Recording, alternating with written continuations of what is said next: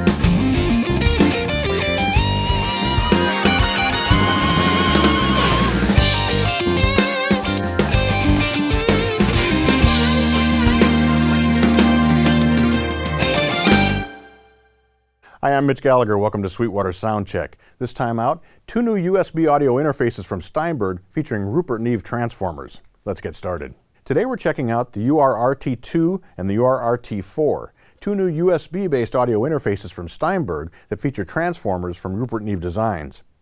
Now, Rupert Neve, of course, is a legend in the audio industry. His circuitry is always top notch, and a lot of the quality in that circuitry comes from the transformers that he designs. With the URRT series of audio interfaces, Steinberg has worked with Rupert Neve Designs to incorporate those transformers into the signal path. The way this works is we have preamp inputs on the front panels, and we can use a selector switch to choose whether the transformer is in the audio path of those preamps or not. The preamps are Yamaha's D-Pre design, which are based around a Darlington circuitry. This means there are two transistors in the signal path, which gives us a very pure signal with extremely high dynamic response. With the transformer switch engaged, the Rupert Neve design transformer drops into that signal path, and we get that extra harmonic richness, a little bit of distortion if you drive it hard, and a little bit of compression as well.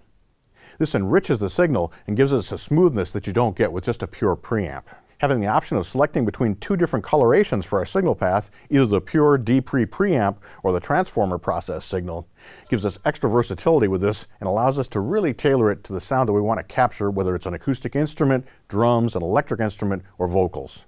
Let's take a quick tour of the two interfaces. We'll begin with the UR-RT2, which is a 4-in, 2-out USB-based audio interface. On the front panel, we have two preamp inputs. Input number one can accept either mic level or instrument level signals, instrument level being guitar or bass. We select what level we're operating at using this front panel switch.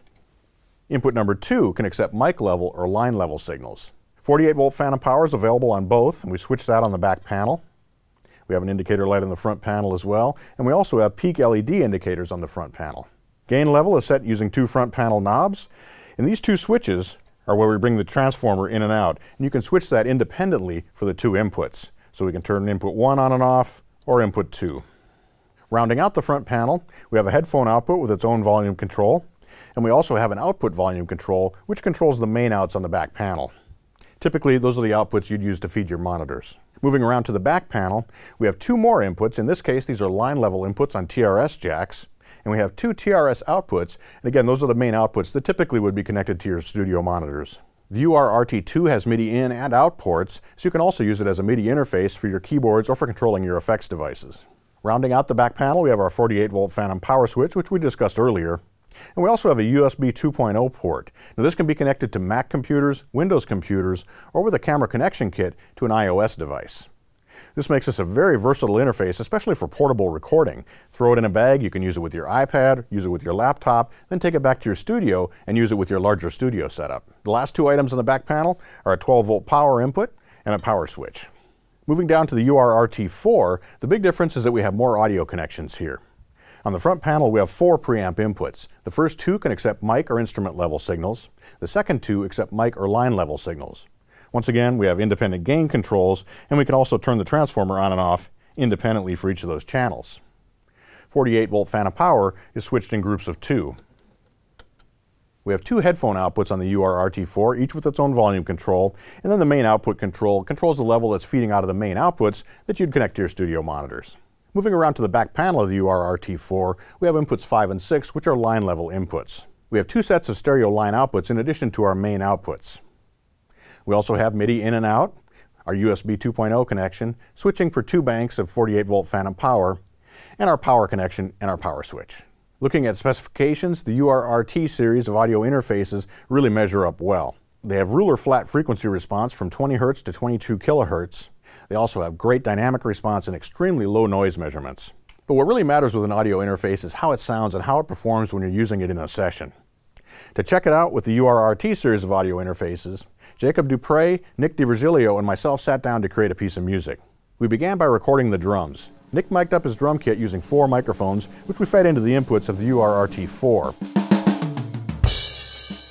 We engaged the transformers, and one of those mics was on kick drum, one was on snare drum, and we had two overheads. Next up, Nick laid down a bass track.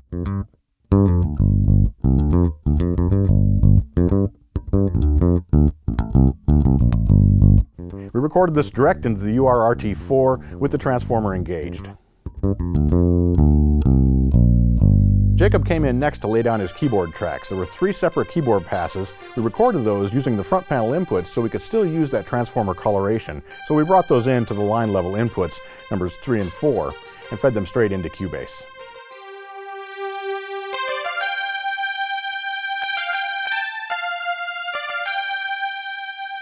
I finished things up with three tracks of guitars, which featured a mic'd up amplifier coming into input number one with the transformer engaged.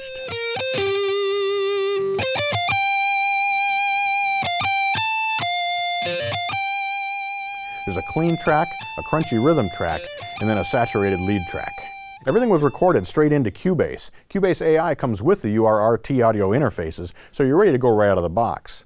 For iPad users, the interfaces come with Cubasis LE, so you can immediately get going using those devices as well. In addition to Cubase and Cubasis, the URRT audio interfaces come with other software as well. DSP Mix Effects is an application that allows you to use these interfaces with latency-free monitoring and latency-free effects while recording with any DAW. A suite of effects are also included. There's an amplifier simulator, a channel strip, as well as a reverb. And again, you can use those in real time while you're recording with no latency. I hope you've enjoyed this look at the new URRT audio interfaces from Steinberg. Those Rupert Neve transformers in these interfaces really give them a beautiful tone, harmonically rich, very dynamic, and very smooth. They really sound great. When you want a pristine signal, take the transformer out of the signal path and you still have those beautiful D-Pre preamps to work with. They're a great addition to any studio and they make great mobile audio interfaces as well.